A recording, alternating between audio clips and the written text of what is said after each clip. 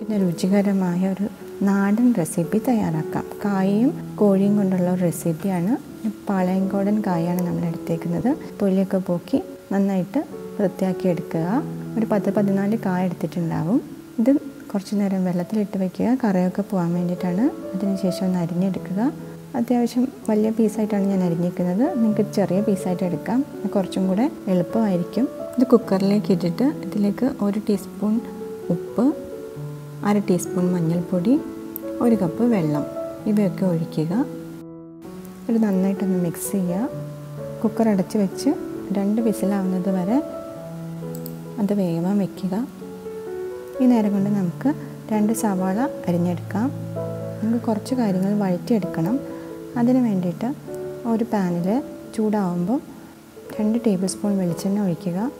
രണ്ട് ഗ്രാമ്പൂ ഇടുക. ഒരു ചെറിയ കഷ്ണം കറുകപ്പട്ട ഒരു നുള്ള് ഉലുവ ഒരു കറിവേപ്പില തണ്ട് ഇതൊക്കെ ഇടുക. ഇതൊന്ന് മൂപ്പിക്കുക. ഇതിന്റെ പച്ചമണം മാറുമ്പോൾ ഇത് അരിഞ്ഞു വെച്ച സവാള വഴറ്റുക.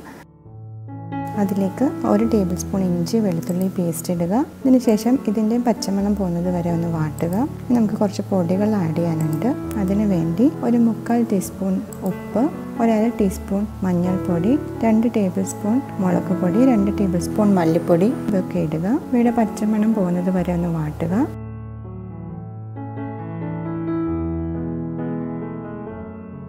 നമ്മൾ അഞ്ഞൂറ് ഗ്രാം ചിക്കൻ എടുത്ത് വെച്ചിട്ടുണ്ട്. ഇത് സബോളയിലേക്ക് ഇട്ട് നന്നായിട്ടൊന്ന് വഴറ്റുക. ഒരു അഞ്ച് മിനിറ്റ് വഴറ്റുക. എന്നിട്ട് നടച്ച് വെച്ച് വേവിക്കുക. നമുക്ക് കുറച്ച് തേങ്ങ അരച്ചെടുക്കാനുണ്ട്. അതിനുവേണ്ടി ഒരു അരക്കപ്പ് തേങ്ങ എടുക്കുക. ഒരു ടേബിൾ സ്പൂൺ പെരിഞ്ജീരകം നാല് പച്ചമുളക് ഇവയൊക്കെ ഒന്ന് ചെറുതായിട്ട് നരച്ചെടുക്കുക. കുക്കറിൽ രണ്ട് വിസിൽ വന്നിട്ടുണ്ട്. നമ്മുടെ കായൊക്കെ നന്നായി വെന്തിട്ടുണ്ട്. നമുക്ക് ചിക്കൻ ഒന്ന് നോക്കാം. ചിക്കനിലേക്ക് ഒരു കപ്പ് വെള്ളം ഒഴിച്ചൊന്ന് അടച്ചു വെച്ച് വേവിക്കുക. നന്നായിട്ട് വേവണം. ഈ നേരം കൊണ്ട് കുക്കറിൽ അരച്ച തേങ്ങ ചേർത്തിട്ട് നമുക്ക് നന്നായിട്ട് ഇളക്കി കൊടുക്കാം. നന്നായിട്ടൊന്ന് യോജിപ്പിക്കണം. ചിക്കൻ വേകുമ്പം അതിലേക്ക് ഇട്ട് കൊടുത്ത് നന്നായിട്ട് യോജിപ്പിക്കുക.